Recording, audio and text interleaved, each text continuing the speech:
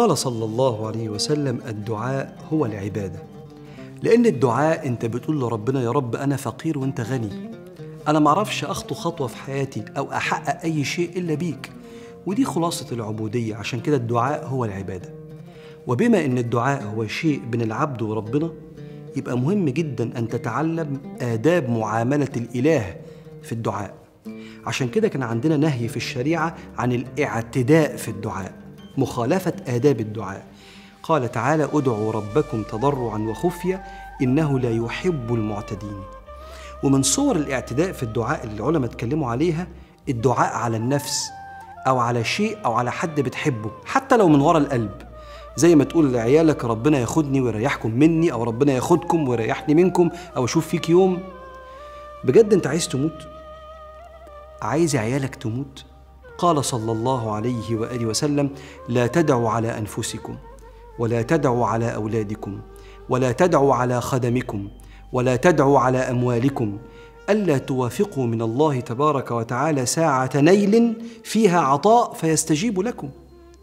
درجة إن سيدنا زيد بن أسلم بيقول من اللغو دعاء الرجل على نفسه. تقول لإنسان أعمى الله بصري إن لم أفعل كذا وكذا. ربنا يعميه لو ما عملتش كذا. ده ده غلط. ده اعتداء في الدعاء. انت أصلا واحد يقول لي بس أنا بعمل الكلام ده من ورا قلبي. أقول لك أنت ما ينفعش تطلب حاجة من رئيس دولة أو ملك أو حتى وزير وبعدين يقول لك هو أنت فعلا عايزها؟ تقول لا لا أنا بقول أي كلام. بتلعب يعني مع الكبير ده؟ عشان كده من رحمة ربنا ياما سمع دعوات زي دي مننا وحمانا من نفسنا وما نفذها لناش قال تعالى ولو يعجل الله للناس الشر استعجالهم بالخير لقضي إليهم أجلهم.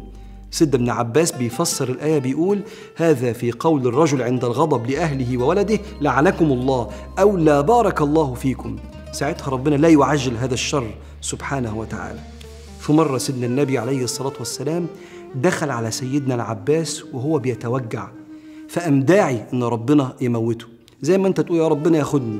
فقال النبي صلى الله عليه وسلم يا عباس يا عم رسول الله لا تتمنى الموت إن كنت محسنا تزداد إحسانا يعني لو عشت إذا إلى إحسانك وإن كنت مسيئا فإنك تؤخر حتى تستعتب.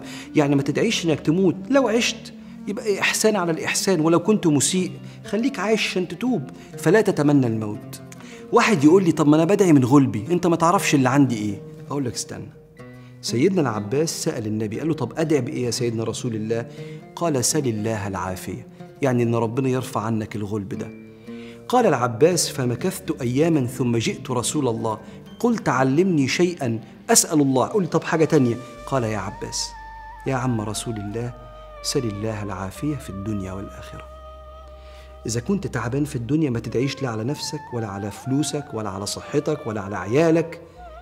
إذا كنت تعبان في الدنيا سل الله العافية. وكان النبي صلى الله عليه وسلم كل يوم الصبح ثلاث مرات وبالليل ثلاث مرات في أذكار الصباح والمساء يقول اللهم إني أسألك العافية في الدنيا والآخرة. اللهم إني أسألك العفو والعافية في ديني ودنياي وأهلي ومالي. اللهم استر عوراتي وآمن روعاتي. اللهم احفظني من بين يدي ومن خلفي وعن يميني وعن شمالي ومن فوقي وأعوذ بعظمتك أن أغتال من تحتي.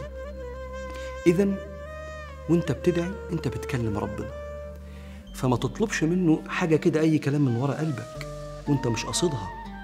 وما تهزرش كمان مع ربنا في الدعاء. مرة واحد كان بيشرب كده مية وبعدين نزلها قال الحمد لله. قام واحد مهزر معاه قال له يرحمك الله أكنه عطس يعني. لا يا جماعة إحنا ما ينفعش. وهو بيقول له يرحمك الله بيهزر معاه كده هو لا يقصد الله ولا يقصد الرحمة. ما تذكرش ربنا على سبيل المزاح. هذا اعتداء. وأنت بتقول له يرحمك الله بتهزر كده على سبيل الهزار. إحنا ما ينفعش نهزر مع ملك الملوك سبحانه وتعالى. لأن لو ربنا أدخلك في حضرة الدعاء وخلاك تتوجه إليه وهو مجيب فتأدب معاه. آداب العبد المحتاج المقصر الفقير مع الرب العظيم الكبير.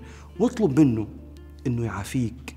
فلو عافاك لأعطاك ما تريد. فاللهم يا رب اجعل أيدينا لا تمتد إلا إليك واجعل قلوبنا لا تتوكل إلا عليك. وارزقنا حسن الأدب إذا وقفنا بين يديك.